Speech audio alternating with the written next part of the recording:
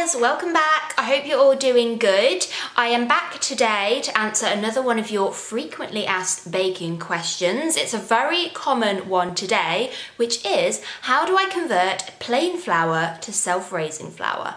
To convert your plain flour into self-raising, you're going to need some baking powder. As a general rule, you want to add 2 teaspoons of baking powder to every 150 grams of flour. Mix it in really well and then sift it to make sure it's evenly distributed, otherwise your cake's going to rise all unevenly. Okay, well that sounds simple enough, but what if you don't have baking powder? Well, you can actually make your own. All you need to do is combine one teaspoon of cream of tartar with half a teaspoon of bicarbonate of soda and this makes the equivalent of two teaspoons of baking powder. Some people have asked me, can I use bicarbonate of soda instead of baking powder? Well, unfortunately not, unless your recipe specifically states to.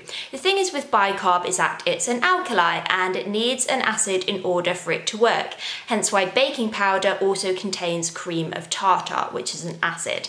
The acid and the alkali react together when liquid is added, producing carbon dioxide and forming air bubbles, which makes the cake rise. There's not really any other way in which you can make self-raising flour, so if you don't have any of these ingredients to hand, I would suggest that you find another recipe that uses plain flour instead.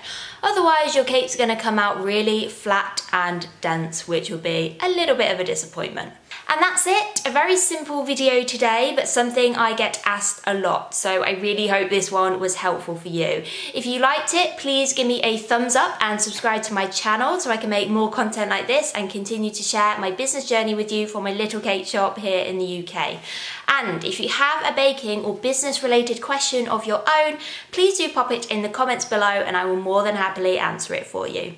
Thank you so much for watching and I'll see you next time guys. Bye!